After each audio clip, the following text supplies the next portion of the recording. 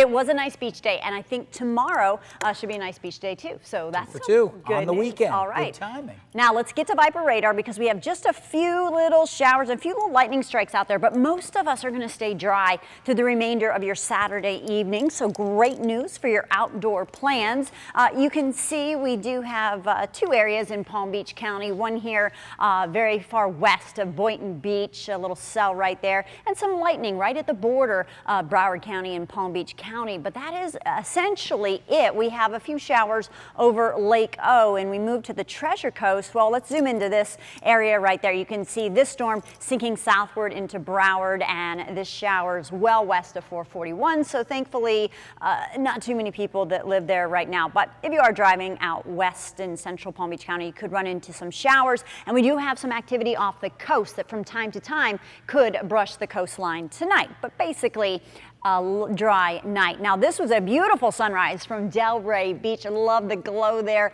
on the camera, bright blue skies. Of course, everyone came out setting up the chairs. And this day they didn't have to pack up and uh, get out of the way of storm clouds because we stayed dry at the beach right through the evening hours. West Palm Beach made it up to right around 91 today, the average 88. So we were hot and Vero Beach, they were a little bit cooler, 89, still one degree above their average of 88 degrees. Current temps right now 84 in Boca, 85 Boynton Beach, 87 Indiantown, 84 in Okeechobee, and Vero Beach checking in at 85 degrees. Some beautiful photos for you.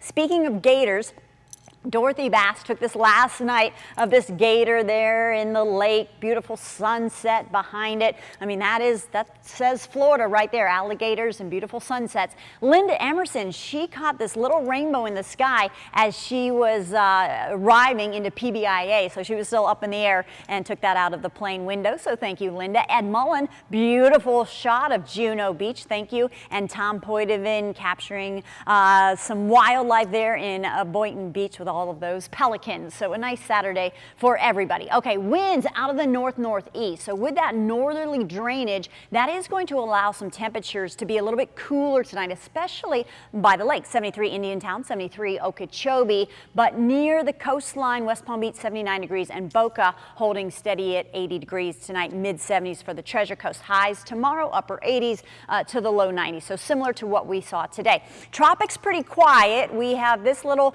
area right here here that the National Hurricane Center just giving a 10% chance of development to, and the remnants of Gordon right now a 0% chance of regenerating. All right, your Vipercast for tomorrow. We'll see uh, a few showers and storms firing up along the east coast sea breeze right around the noon hour, 1 o'clock, and then that will move inland. So again, a relatively dry day here for South Florida. Tonight, temperatures dropping down to 79 degrees, winds out of the north at 5. And here's your seven-day forecast. Temperatures in the upper 80s, relatively dry the next three days. First day of fall starts tomorrow, and then we ramp up those rain chances the second half of the week.